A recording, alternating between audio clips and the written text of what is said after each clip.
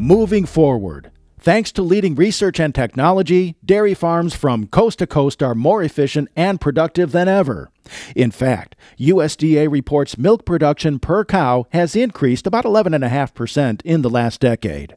And the progress isn't slowing anytime soon, says Jason Osterstock, Vice President of Precision Animal Health for Zoetis. We obviously recognize that innovation never stops. And so, whether that's uh, looking at new genetic predictions, new ways that we can use the information, new tools to help extract more value from it.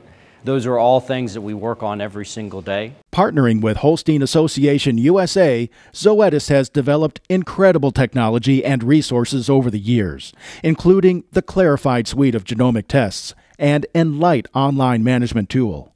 Coming soon, registered Holstein breeders can look for new features with the Enlight 2.0 rollout. We're continuing to do that collaboration across a wide range of areas and really excited about the introduction of Enlight 2.0, uh, which is a reinvigoration and, and additional functionality for that platform and ultimately helping producers extract more value from their investment in genetic testing. The Clarifide Plus genomic test, introduced in 2016, is another groundbreaking technology that makes genetic predictions on health and wellness traits, such as calf health, mortality risk, and reproductive traits. We've been able to continue to stack new information into that product over time.